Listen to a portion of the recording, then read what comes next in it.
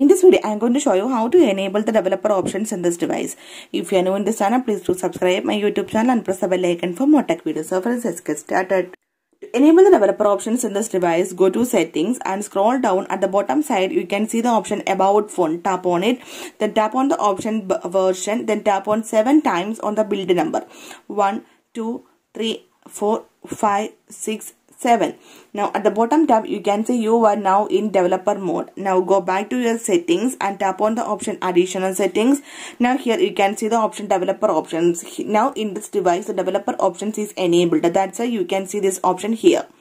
Tap on it. You can so here you can see lots of developer options. You can give changes here okay so simply if you want to enable the usb debugging in this device then here you can see the option usb debugging under debugging. Turn on this option tap on ok. Simply the usb debugging is now enabled.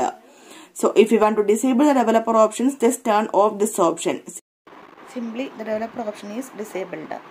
So hope you guys enjoy this video. If you like this one please like and share. And don't forget to subscribe this channel for more updates. Thank you for watching. Thank you. Bye bye